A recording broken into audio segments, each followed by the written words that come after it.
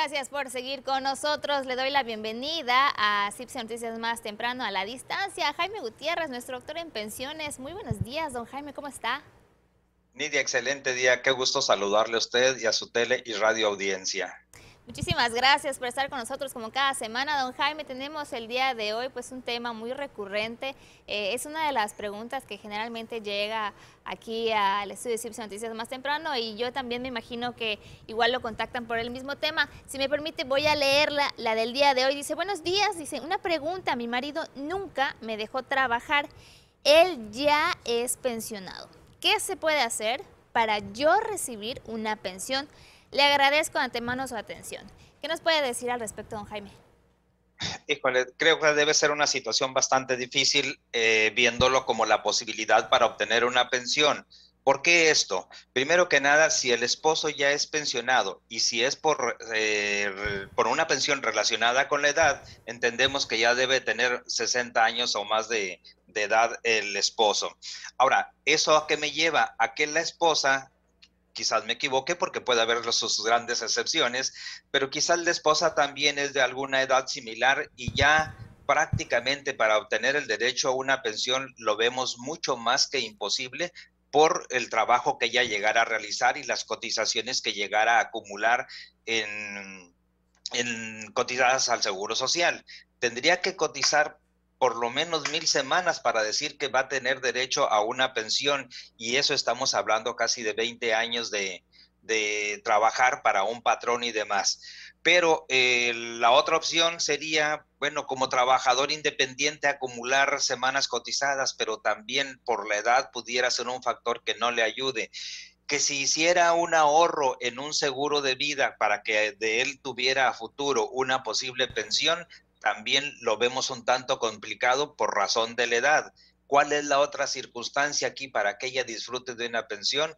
Pues hay que decirlo, ¿no? El fallecimiento del marido, que ya es pensionado, quien en todo caso le dejaría a ella una pensión por viudez. Complicada la situación para esta persona que tan gentilmente nos escribe y a quien le agradezco mucho que tenga el valor de hacernos esta pregunta. Así es, don Jaime. Eh, y bueno, muchas personas están en la misma situación. Nos, nos comenta que la única opción sería pensión por viudez. Eh, al ya llevarse, a suceder este hecho, eh, ¿es automático? ¿Ellos necesitan hacer algún trámite? ¿Qué es lo que tiene que hacer la persona cuando esto suceda?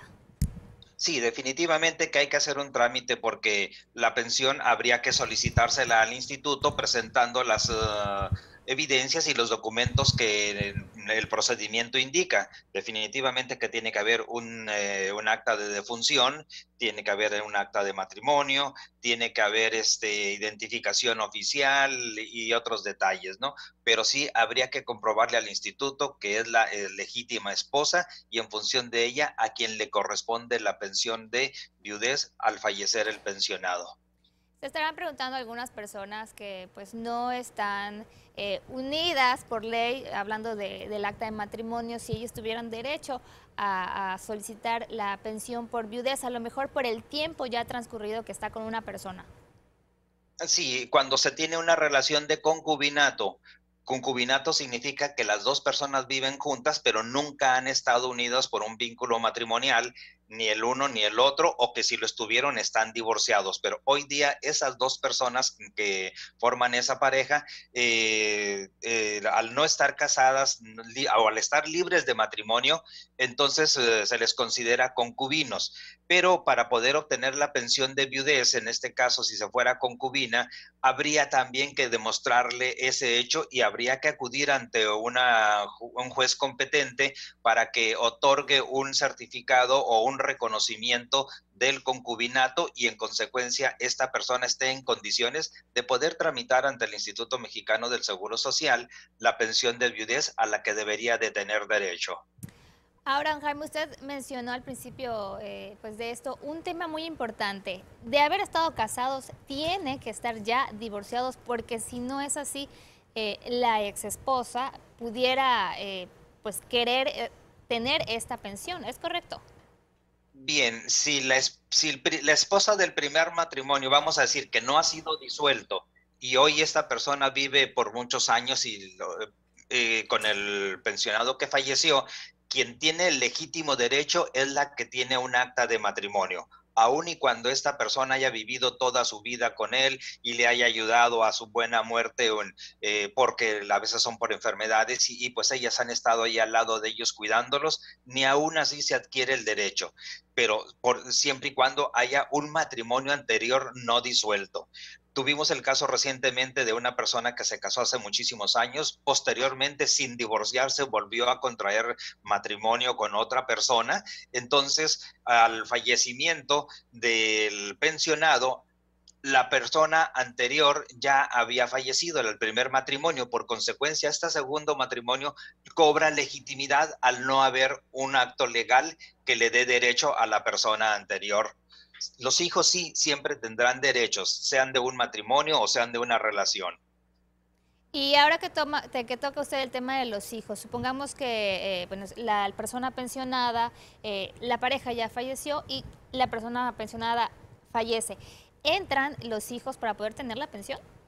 Sí, los hijos entran siempre y en todo momento, eh, entran con el derecho a una pensión de orfandad pero debe tener algunos requisitos, supongo que los hijos a lo mejor, no sé, de edad o, algo. Sí, deben ser menores de 16 años, acreditarse que son hijos de la persona fallecida con los actos de nacimiento correspondientes. Si son ya mayores de 16 pero menores de 25, deben encontrarse estudiando en planteles del Sistema Educativo Nacional para que adquieran el derecho a la pensión de orfandad.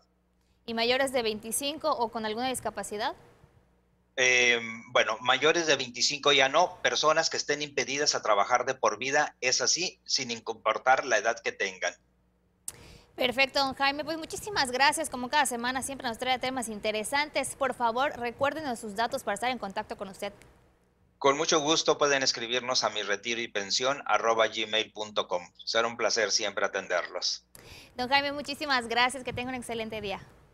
Excelente día y saludos al staff. Es nuestro doctor en pensiones, Jaime Gutiérrez. Tenemos más información con Fátima Ramírez. Te escuchamos, Fátima.